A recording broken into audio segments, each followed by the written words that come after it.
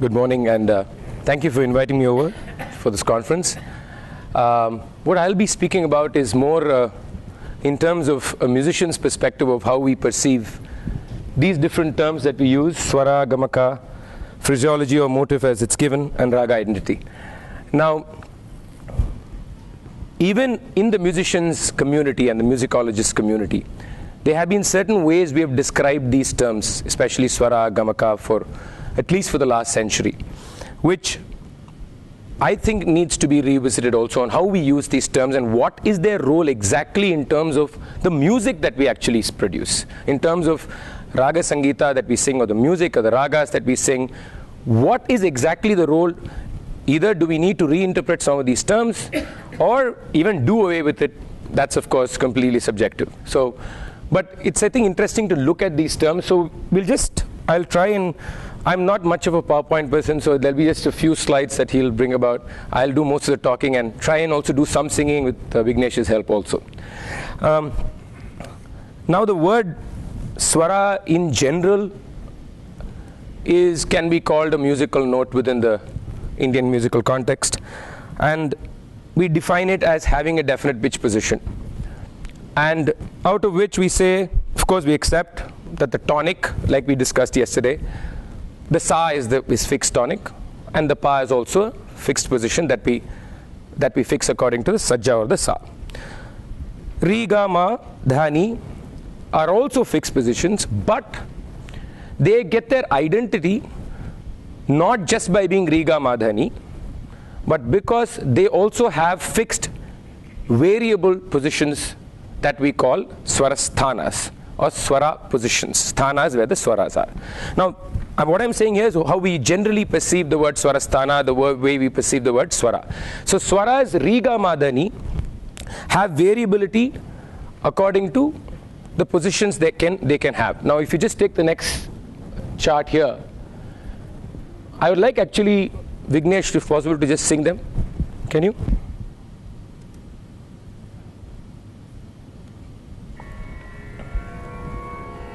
Give a mic?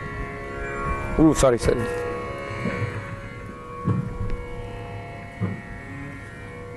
Slowly. Yeah, start with Sa and Shuddha Shivam. Pa, pa. Now you have you have Rishabha, Ri, you have three very three basically we'll first sing two types of Ri.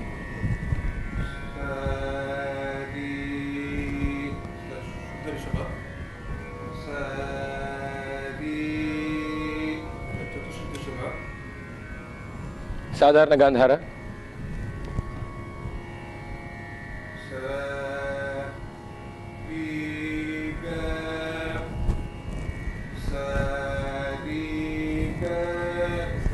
Antara Gandhara, or what we've said is Gatri.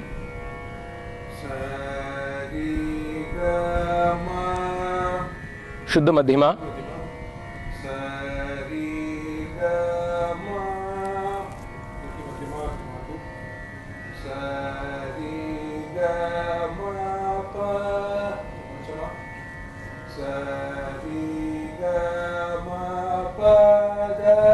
When he sings all the rest of the notes to show you the Dhaivata, ignore the rest, please. So right now, all you need to listen to is the Dha, Shuddha Dhaivata, Da 1. Da, Da. Chatushruti Dhaivata, Ni, Kaisik Nishada, Ni, Kakal Nishada. And the other octave, Sa, if you were going to see. Now, this is basically the 12,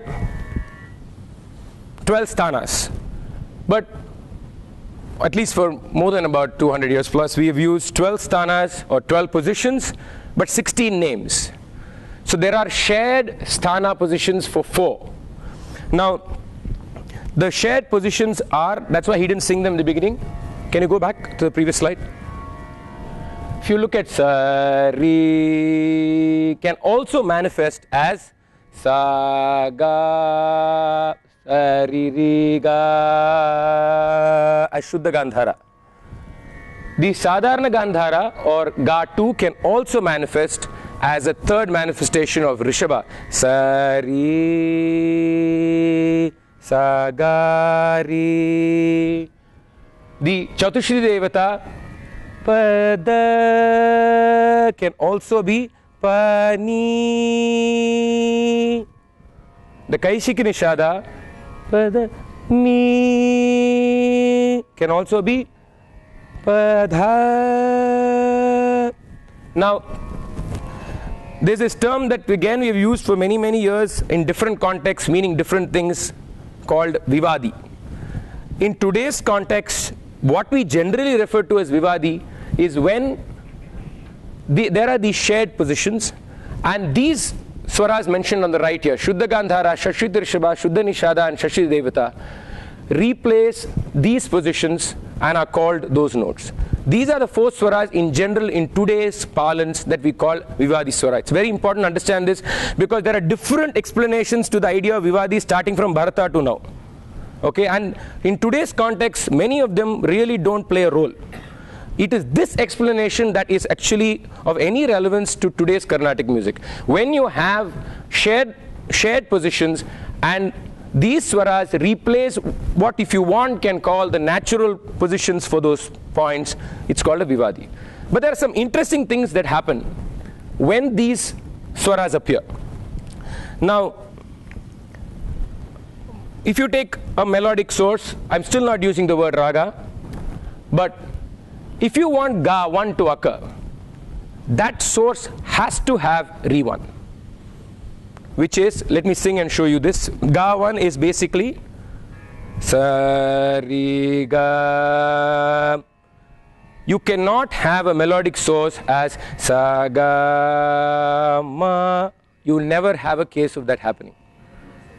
You will have if you had that it will be interpreted as re sa re ma so only possibility of having ga 1 or the replace vivadi swara is if there is an evidence in that in that source of a re 1 again i'm right now only talking about positions and just relating to positions of swara. Similarly sari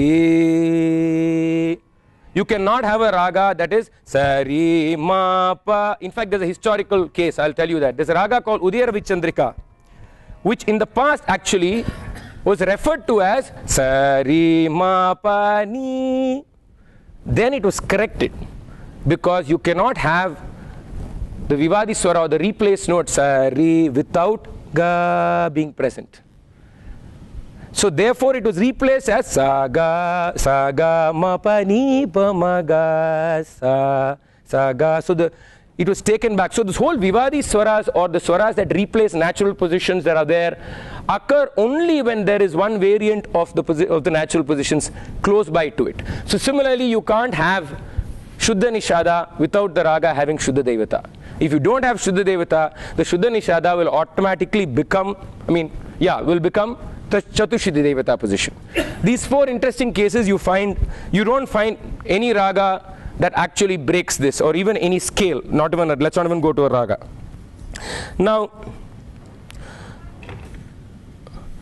the other I'm, I'm, again I said I'm coming from a traditional idea of a swara and swarasthana and then we'll see whether we can actually break them down. The idea of a movement of a single swara. Now as it was discussed yesterday and we've been discussing that no swara in today's context in Carnatic music is a single position. It's a range. It's a range around which there's multiple movements and multiple interpretations and this is that range collectively is what gives you variability to that swara also. So in any raga the identity of the swara is very very well married to this movement that is happening with the swara. Now two things here is how is this range first of all defined? I mean if you say there's a range of movement there is a huge element of cognition there which has to be put in. The range is definitely influenced by the cognition of how that range reflects that melodic identity that we are dealing with. That's how the range is defined. And of course, what is what are the other phrases and other swaras around also definitely influence it. But cognition is definitely something that is very important. So, is there any specific rule that can be placed to the way this range is defined? You can't look at specific rules.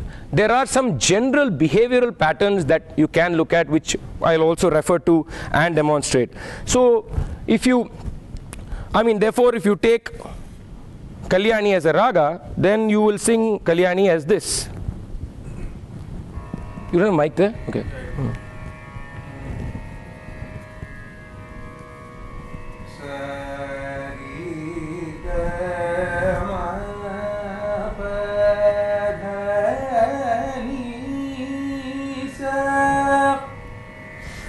Basically what he's saying to you is the is the swaras in Kalyani. I don't understand this. I hope you do, but I just know how it sounds. But that's that's that's that's about what I know. Now,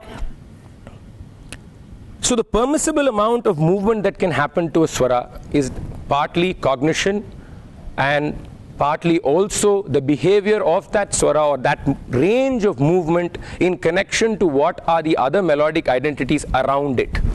So you could have the same swara with different ranges depending on the context of where they are and what melodic source they are representing.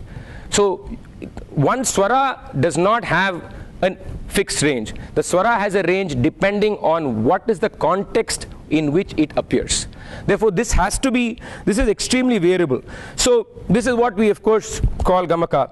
So, to me, gamaka is like a variability of movement within the context of certain phraseology.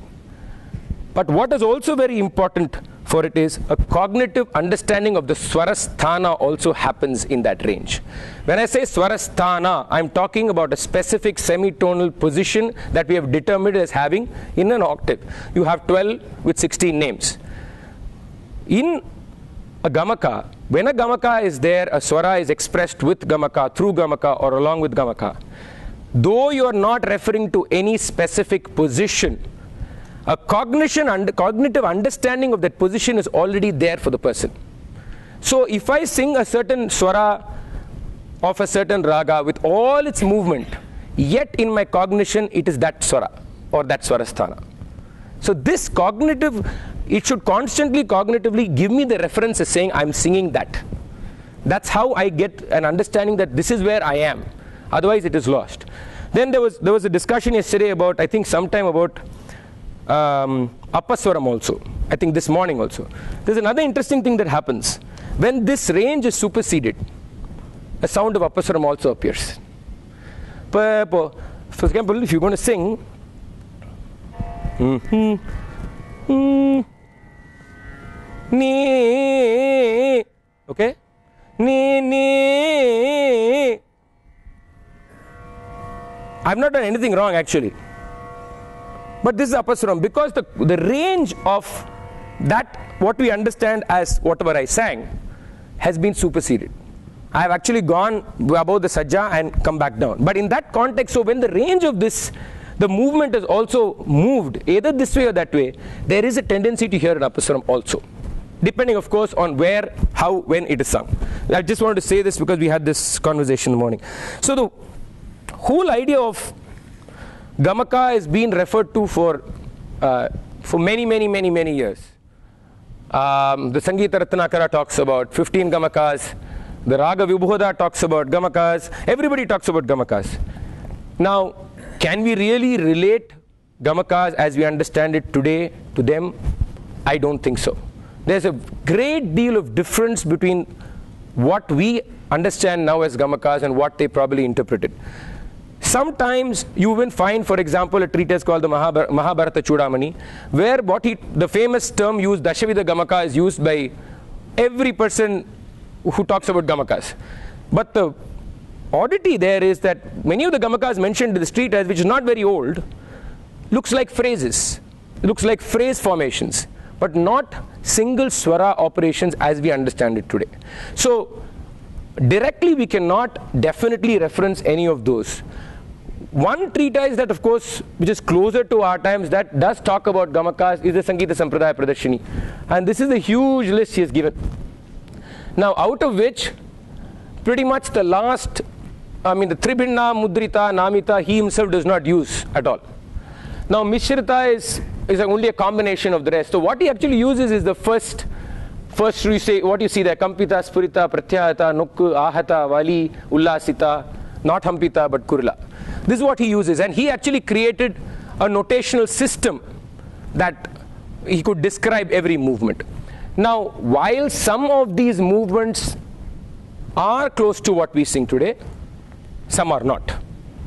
Definitely some are not. There's, there's no doubt about it. Some musicologists and some musicians will definitely argue, and I think sometimes val- validly, that you can actually use the symbols created by him to even interpret today's music. And there is some validity to that, to that discussion because as somebody who has experimented with it, it is possible for me to write today's line of music using the symbol he used, but of course interpreting it in today's context.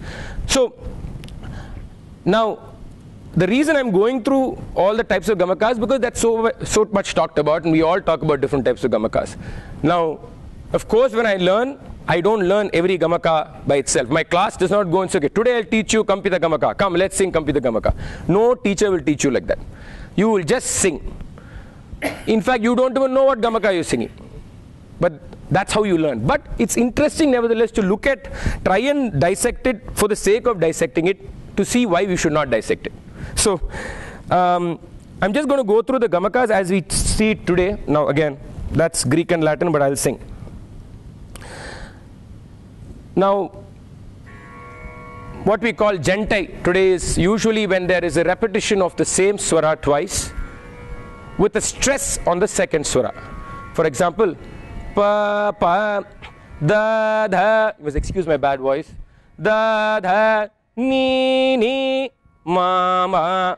So what actually is happening is there is a touch of the lower swara when you sing this when you repeat the second pa pa pa da da. There's a movement which is downward. This is called jantai. Jaru is basically a glide. It can be ascending glide or a descending glide. Ma ni ni re re ga. These glides are called jarus. Then you have udukal. This udukal is far more relevant to the instrument rather than the voice. If I sing udukal, it'll sound exactly like jaru.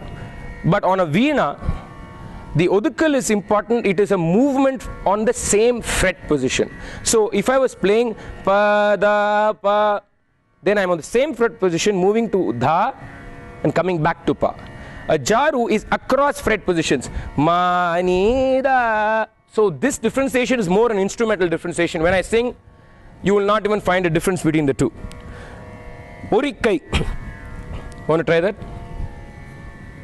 Orikai is something that you it is right here. Ah, Orikai is right on top. You want to sing Urikai?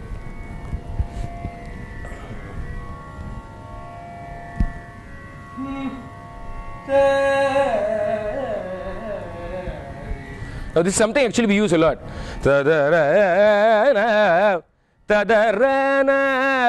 This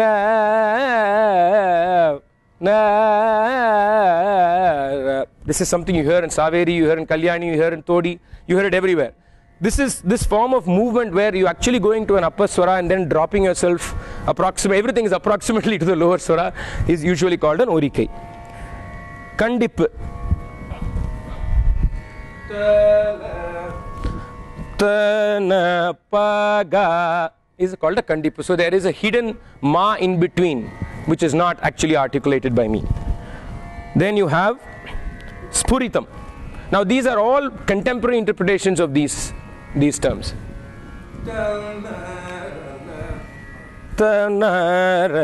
One important point in all this is, if I was going to actually articulate the swara while saying it, I'll only be saying one swara. Pa ma ga ri sa ri pa ma ri sa pa ma. I'm actually singing three swaras there. Or pa ga pa ga.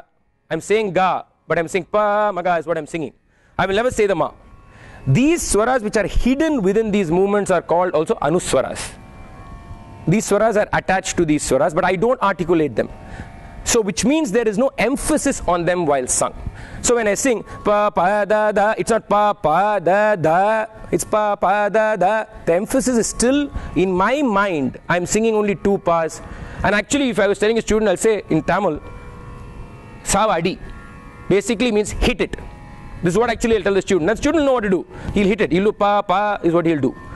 But this is what actually happens. Now, these are the different movements. I've not talked about one movement which I'll come to now, Kampita. The reason I've kept this for the last is the very identity of Carnatic music pretty much is enveloped in this in this variability of Kampita. This is one of the reasons why Carnatic music is also not so easy to listen to for people who are not very used to it.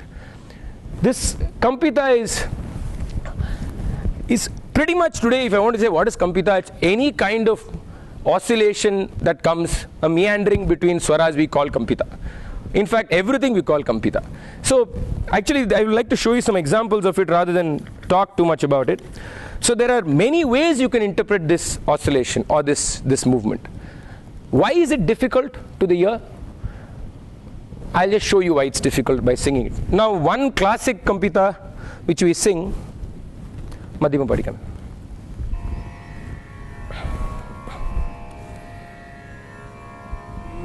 Ma ma as long I keep saying ma but I'm not singing I'm not actually singing ma. I'm saying gapa gapa gapa gapa gapa gapa ga, ma. Okay. Now this is definitely something not something people are not used to. In fact I've heard people saying you're saying ma but you're not singing ma. What are you singing this is very very often you hear so it's very difficult you sing gapa but that's not the only way you can do it you can do this too now, some kampitas don't exactly start or end on a specific swara position. Not necessarily. You could have, for example, different interpretations of tada pada ni ni ni ni ni ni I sang all this is kampita. It's nothing else. Ni ni one ni so in some cases you're not actually perfectly on either the it's not dasa dasa dasa da. It is not probably the uh, kaishik nishada which i'm supposed to sing. So you are in between those ranges somewhere. And depending on the voice of the musician and the interpretation of the musician this will vary but there is a cognitive recognition by all people who know the music that it's still the knee. So all these movements. Now, if I was going to take another kind of kampita, Neem, Kalyani, what we sing is Neem, Ma is how we sing the Pratimadima and the Kaking Nishada. So, in fact, this is where the Kampita starts on the Swarasthana higher than the position I'm singing. All the rest I sang actually started slightly lower. Here it starts on a higher position. Now, you also have cases where, now we talked about Sa and Pa being fixed. Actually, in music, they are not also. They are also movable. If I sang, the swaram padani sa pa so it's not sa pa I, that is sa for me. sa ma ni da pa so in the melodic context the sa and pa also play around. Sometimes what happens in like in padanisa in this raga if i was going to sing the phrase the sa almost swallows half of the finishing of the knee and starts off. Padani sa, padani sa. So there is no actual completion of ni sa, ni sa. So this happens a lot. You will find this kind of movement in ascending phrases. In ascending phrases using Kampita, many times you will find this, the next swara swallowing into the previous itself. Now, there is two with I have to continue with Kampita Kampita a few more things because like I said it's pretty much what defines what you hear in Carnatic music. All the rest are keep coming and going but this Gamaka though we are trying to isolate it just for explanation's sake it's all over the place. It's everywhere. It's this this kind of movement is there everywhere in every raga. Now but there's an interesting couple of interesting things is if we go back to the word of Sadharana Gandhara and the position being ga and Kaishiki Nishada ni almost in every traditional raga that has Sadharana Gandhara and Kaishik Nishada, it will be oscillated with Kampita Gamaka. Ga, ma, ga, ri, ga. This movement will be there everywhere. Ni. For example, if I was going to sing Bhairavi, ga, ri, ga, ma, pa, da, ni. If I was going to sing uh, Harikamboji, ni, da, da, ba, ma, ga, ma, pa, da, ni. Padani, Padani, Sariga, Sariga. So the Sadharana Gandhara and Kaishiki Nishada, almost most of the times, like always, there are always exceptions, but most of the times are extremely heavily, you know, oscillated notes. In fact, that's very important. Similarly, the Pratimadhima and the Kakali Nishada, Ma, Ni, these two, are never sung in today's context anywhere close to. They're always sung as almost Pa and Sa. Ma, Ni. So many times we'll be actually saying, This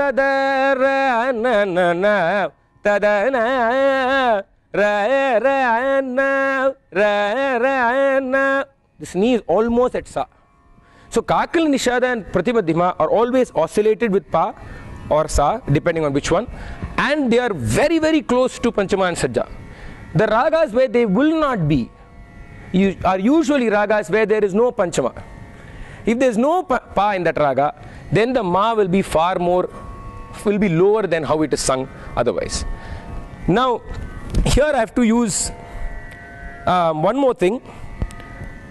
In Kampita Gamaka, generally on an ascent, ga, ma, ga, ma, the movement of ga will be far larger.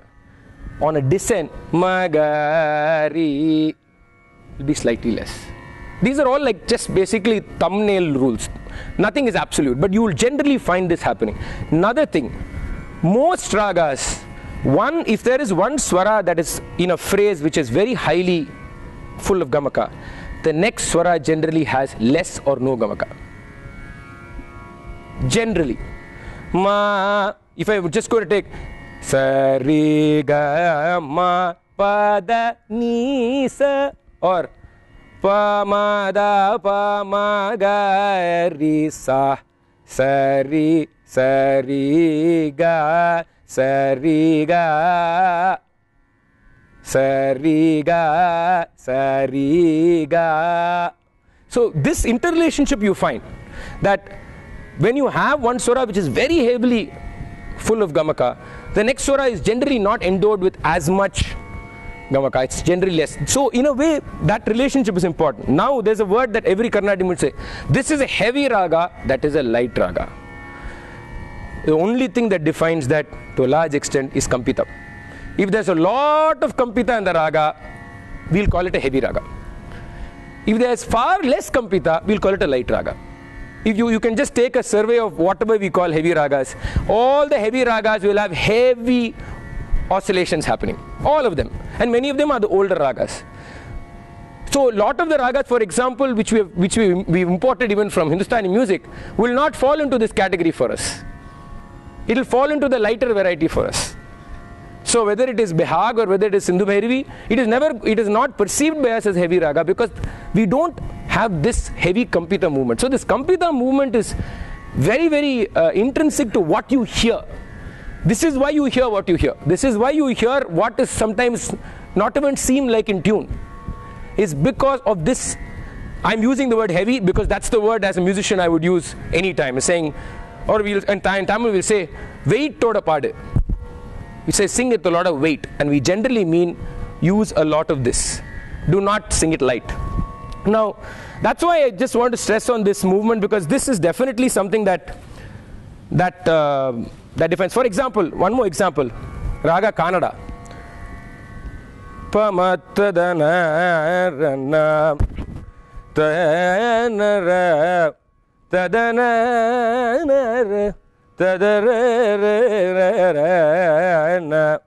I can sing the same. Okay? Na na ta ra na. Every Carnatic musician will say this is not Kanada. That's Kanada. This, the other guy, is something that Hindustani musicians will be able to immediately associate with far more than this. But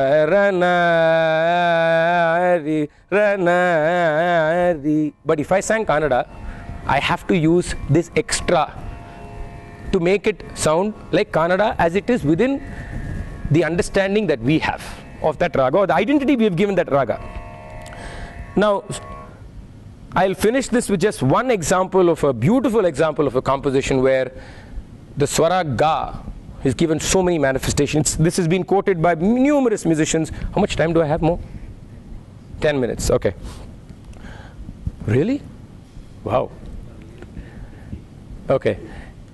I'll I have to sing this because it's been quoted many times. It's a, in the raga Todi. It's a part of a composition. Hmm. Just hear the gas. That's all you need to hear. Hmm. Ga ri sa ga ri ga ga ga ma ma ga ri sa ga ri ri ga ri ni da ga ri ri ga. Every ga was different. Ga sa ga ri ga ga ga ma ga pa ga da ga ni da ma ga ma da ma ga ma ni da ga ma pa da ni ga ga ma ga ma pa da ni ga ga ma pa da ni sa ri ga ga ma ga ri sa ni ga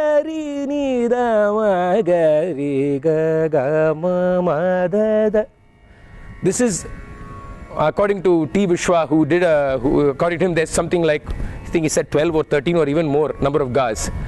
But every ga is different depending on ga, ga, ga, ga. So, and many of them are manifestations of the same Kampita. There are exceptions, but many of them are. So I just thought this is a good example to show you this understanding of what it sounds like. Now, therefore, I, therefore, I think at this point, we have to look at what we generally refer to as a swara and a swarasthana, whether it has any relevance at all in this context. A swarasthana is referred to historically and as a as a position, as a semitonal position. It actually has no reference today to us. If you ask any student to sing Nishada or Kalyani or Kakali Nishada, he will sing ni, he'll sing ni, nobody will sing ni that way. So the word swara first has to mean much more. The swara is more like a melodic atom that includes in itself the identity that it has, that it forms, including whatever you call the gamaka. Otherwise, it has no sense. The swarasthana, in my opinion, is irrelevant. Sadharana Gandhara's position has no value in my music because Sadharana Gandhara to me is a sound, a range of sounds within a melodic idea. It is not a position. Therefore, whether we need to use these terms or to identify these positions at all to understand the music is something that needs to be asked, I think, very, very seriously. Whether you need, really need to know where Sadharana Gandhara is, where is G3, where is N1, where is Da2, what difference does it make if you're trying to listen to the music or trying to understand the music or even recreate the music? What you have to see is what is that sound? What is the sound encapsulating by itself? How can you recreate that sound? How can you actually understand that sound? I, I believe that that is far more important question than searching for these markers. Because the moment you're pointing a position and saying everything is around that position, there is a problem. Because that position is of no relevance when it is being sung. It's the whole thing together that is what I look at. So that's the question I want. That's why I think the word swara is first of all means much more. It means much more than a point position. And the word swarasthana in today's music actually as being semitonal position is of no value to us. It is a theoretical value that is probably has its own reference, but musically it really does not. It doesn't matter if I'm singing Sadharana Gandhara as long as it is Todi Gandhara. That's what I would look at it. So I'm going to ru- rush by. So obviously phrases are only an extension of of this whole melodic item of swaras that we have.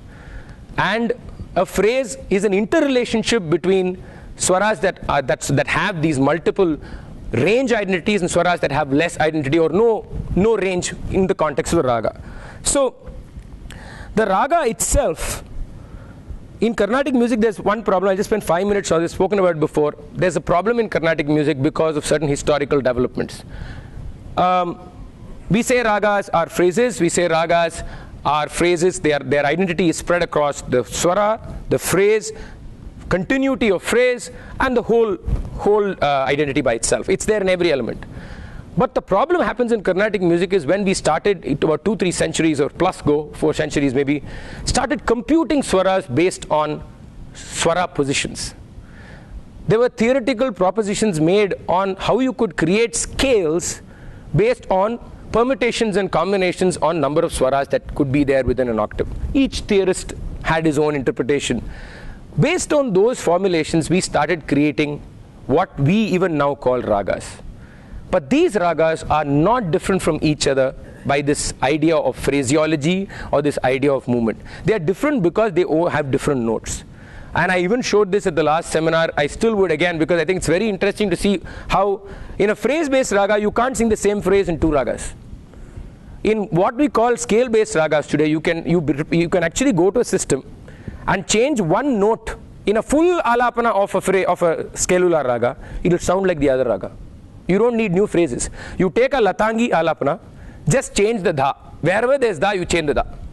It will sound like something else. And you will not even feel that there's a different raga, there's, there's something wrong with it. Because these ragas have not developed phraseology. They are purely developed out of positions of the swaras on which we have endowed them with the gamaka movements based on, of course, our cognitive understanding of how they should move. So this differentiation has created a problem. Now, just I'll dwell on three things and I'll wrap up, just five minutes. How do you identify a raga?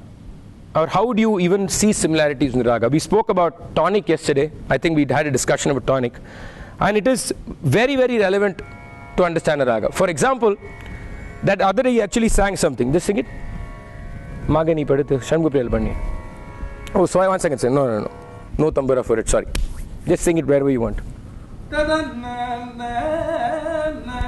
He's singing something else. To me, Nidama, Mada, Nida, Mada, Nidama is what I heard. He sang Magasa, Nirigari, Nirigari, Sa, Gari, Ni, Nirigari, Nirigari, Ni. It can also be Gari, Ni, Magasa, Natakurinji, if I wanted to take it that way. So, unless I have the tonic, a piece of music can sound like anything. To me, it sounded like Sriranjani. The moment he sang it the other day, I said, This is Sriranjani. Because in my ear, I had already placed the sa somewhere else. So, definitely, we discussed this yesterday. Without a tonic, you cannot discuss the raga, a raga as we understand it today.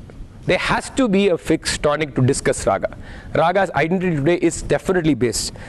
Then the raga's identity is also in there in the swara of, of, of many ragas. We talk, call them jiva swaras, we call them different names. Now there are certain swaras, when I say swara now I'm using the swara as an idea and not as a point. So let me be very clear. Now I'm using swara as an identity rather than a specific point.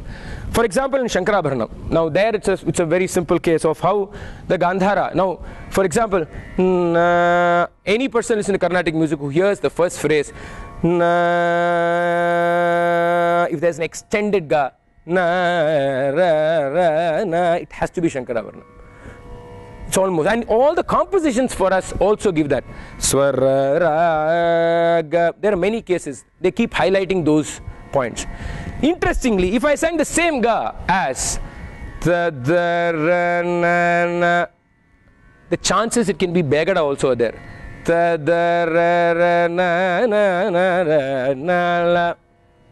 So these are all cognitive uh, markers that we have given ourselves.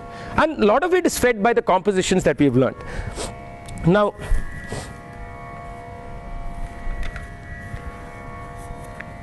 similarly, sometimes just if somebody is going to start an alapana, everybody in the audience go because everybody knows it's Surati.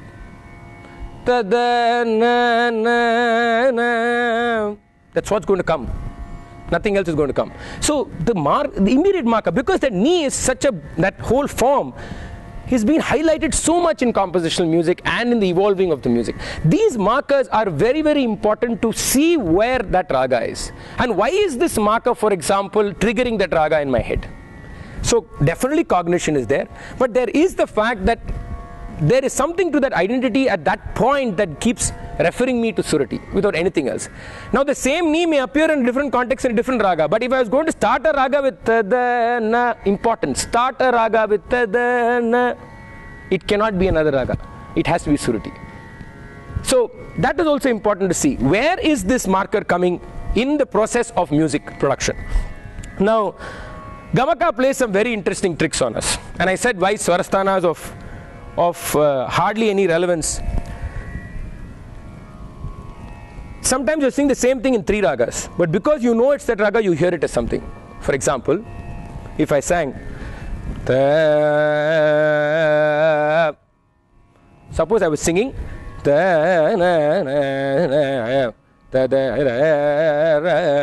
everybody who knows Carnatic music will say it's Todi. I'll sing the same thing.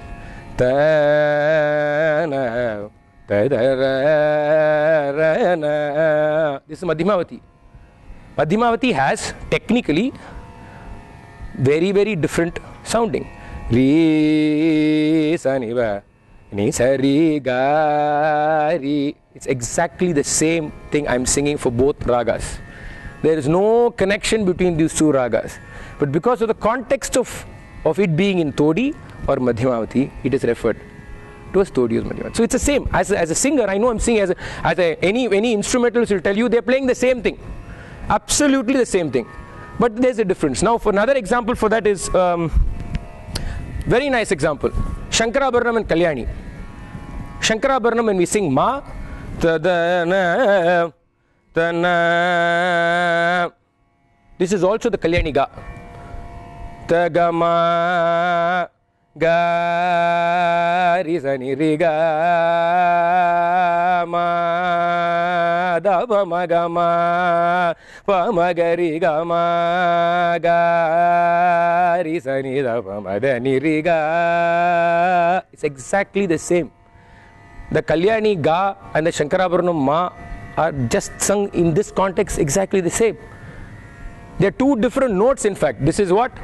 Antaragandhara and that is Shuddha Madhyama if you want to look at Swarasthanas or positions.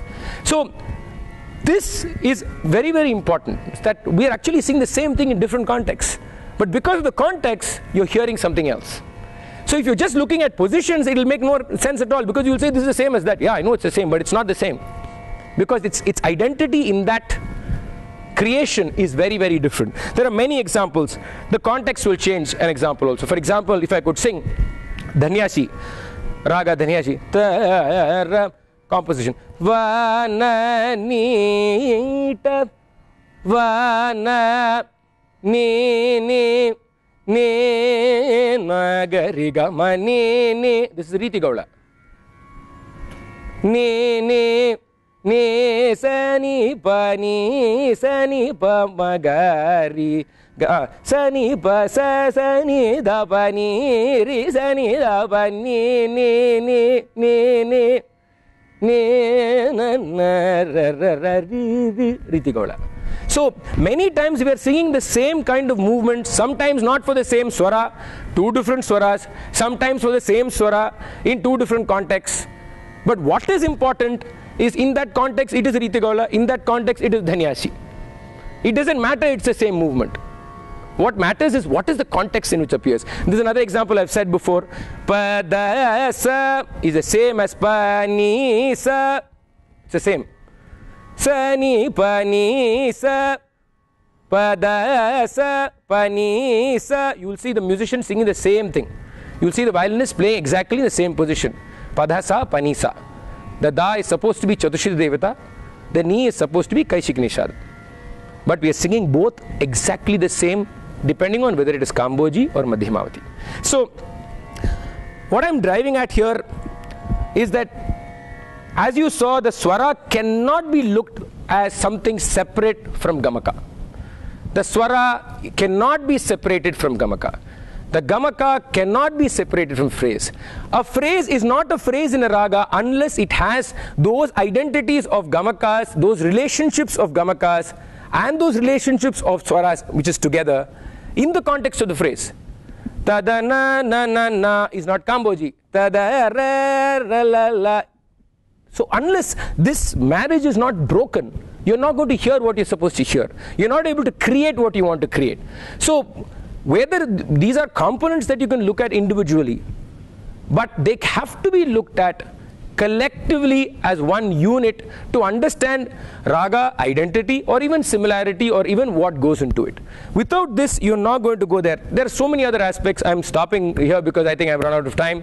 But all I'm trying to say here is we love to break things down. We love to break things down to components to understand them. But in the process of breaking them down, if you try to give them tags and identify them as some portion of the large, you're losing something in between. There's a, there's a loss in translation, as they say. It is not a portion of the large, it is a continuum of the whole large. And unless you have that view of Swara, Gamaka, phraseology, and Raga as being one continuum that is actually inseparable and does not have its form unless it is looked at upon as part of this continuum that creates identity, you are going to be always lost. Thank you very much.